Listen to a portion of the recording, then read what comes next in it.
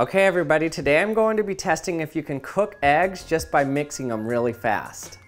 So the theory I'm going off of today in order to try this is the first law of thermodynamics. So I think it's a pretty stable theory to try this off of. And basically it says that any work you put into a system will eventually come out as heat. So Blendtec blenders are really powerful. For example, a Blendtec blender uses 1500 watts of mixing power. And for comparison, a shop vac uses around 1000 watts, a washing machine around 900 watts, a refrigerator 600 watts, a microwave 1000 watts. So it's extremely powerful. It puts a lot of energy into mixing. And the first law of thermodynamics tells us that the energy from that mixing has to eventually go somewhere. So this is actually a really good method to show how mixing turns into heat. Okay, let's put in our eggs.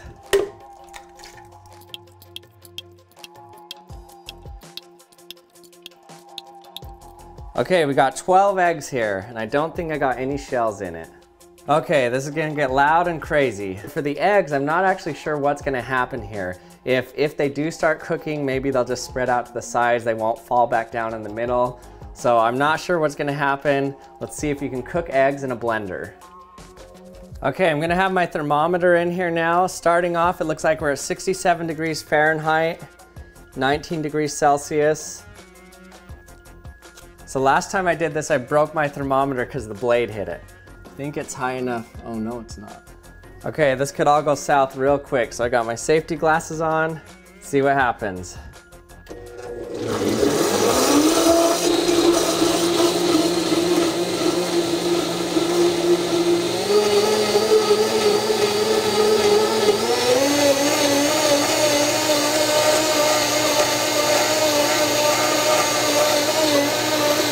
23 degrees Celsius, 75. Look at the temperature just going up like crazy. Shoot. I just did it again. I hit my temperature probe. okay, I have my backup thermocouple because I broke my other one just like I did last time. So hopefully this one, this one's definitely not low enough to hit the blade. Okay, we're at 76 degrees Fahrenheit. Let's keep going.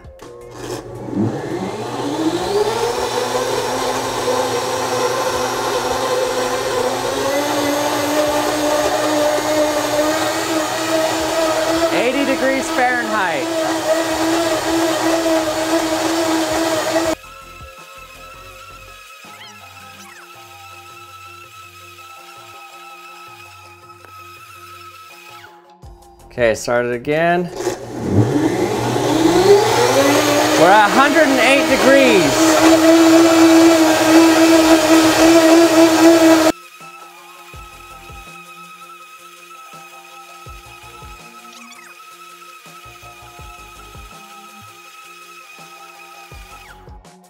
Okay, we're at 135 degrees Fahrenheit right now. Let's keep it going.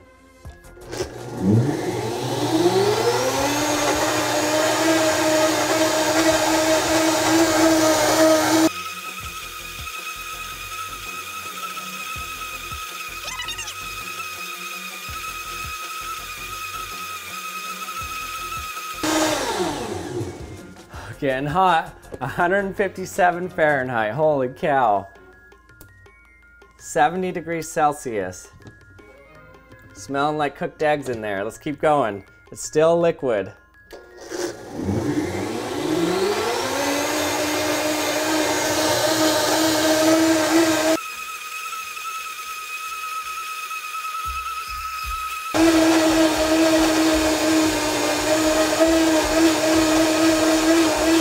To steam.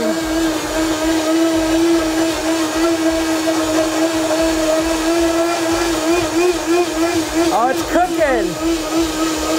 It's cooking them! That's awesome! It's cooking them! Look at that!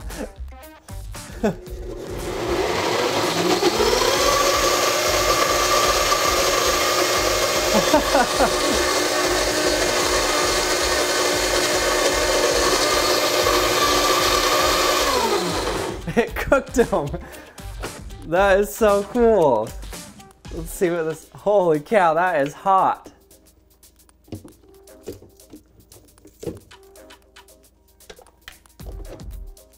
Let's see this. Look at that. That is so cool. Ow, those are hot. I cooked eggs in my blender. Look at this. I cooked eggs in the blender. Those are good. Hey, this is a new thing. Yeah, they're good. 177. Right when it hit 170 Fahrenheit about, it just turned into a solid and it cooked them. And these are really airy. Like, look at these. This is so cool. Wait, that's weird. That's actually like. Really good. Okay, this is a new thing. I'm patenting this. Don't anyone steal it. So cooked eggs in the blender. That is so cool. so look how cool this is. So as soon as it hit the right temperature, it just immediately turned into a solid. Everything on the sides and everything just turned into solid egg. And this is actually really good scrambled egg because it has a ton of air in it, so they're really light and fluffy. Okay, this worked way better than I thought it was going to. I didn't know what would happen, but I didn't think it would just turn into fluffy, nice scrambled eggs like this. and the first law of thermodynamics tells us that the energy from that mixing has to eventually go somewhere. And I proved that in a previous video. I showed that when I mix water in my blender, I could eventually boil it. And a lot of people were skeptical of that. They said that it didn't come from the friction of the water against the blades or the internal friction, but they said it came from the motor itself heating up and that's what heated up the water to boiling. So somebody that works at Blendtec, they told me that yes, the motors get warm, and if you run them for long enough, the heat will eventually radiate through the plastic cover into whatever's above it, like water. However, there's little heat conducted through the blades because of the bearing inside the jar. Most of the heat was created by friction caused by the water molecules hitting other water molecules and the friction between the blades and the water. And I should add a lot of the heating also came from the cavitation of the blades hitting the water, causing micro vacuums to form that vaporize the water and then collapse back down. And that heats up the water too. So he said, yes, for the amount he ran the motor, there would have been a small amount of heat that radiated up into the water from the blender itself but I believe most of the heat was caused by friction inside the jar between the water and the blades. Okay, so there you go. You can easily scramble and cook eggs in a Blendtec blender. This might be some of the best scrambled eggs I've ever eaten, I'm serious. They're really fluffy and light, perfectly cooked actually. Hey everyone, thanks for watching another episode of the Action Lab. I hope you enjoyed it. This one was pretty cool. I didn't think I'd get as good a results as I did, but it happened and it was awesome. So if you're not subscribed yet, remember to hit the subscribe button, hit the bell to be notified when my latest videos out. Thanks for watching and I'll see you next time.